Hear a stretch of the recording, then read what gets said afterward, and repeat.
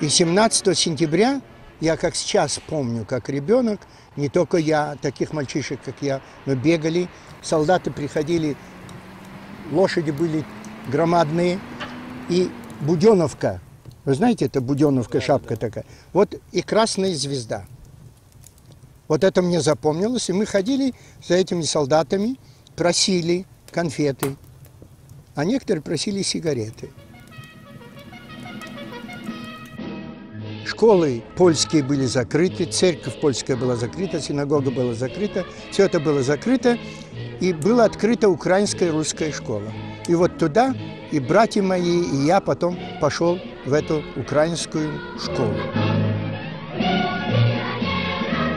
Но это все длилось не очень долго, потому что этот пакт, подписанный Гитлером и Сталином, он был нарушен, и 22 июня 1941 года первая бомба упала на железнодорожную станцию.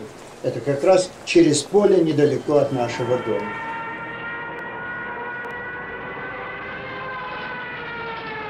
Мы прятались в огороде, началась паника в городе. Эшелоны стали грузиться, русские войска стали драпать, можно так сказать. И в городе хаос был.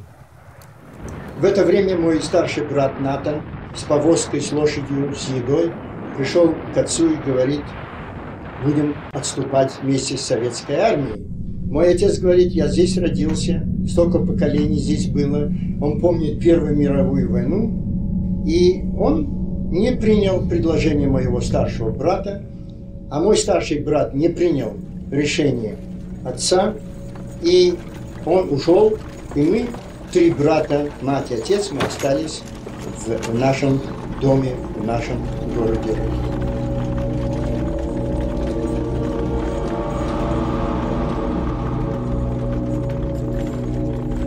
В этот период до начала июля у нас просто вакуум был.